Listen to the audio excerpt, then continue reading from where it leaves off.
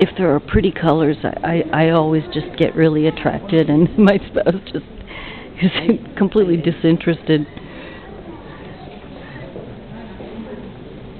It's fun, though. We usually like quite different things.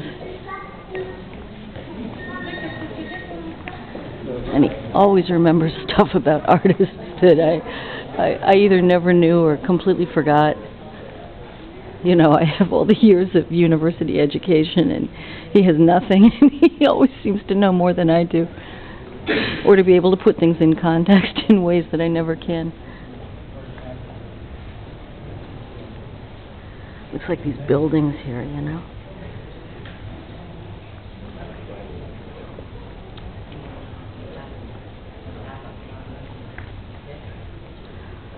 I went to art school. I I had all these years of, you know, visual organization two, which was color, and visual organization one with Craig Lucas in the Midwest, which was black and white stuff.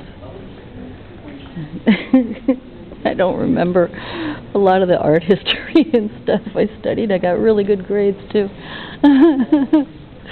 you know. So I'm not sure what any of the lasting benefit was from it all.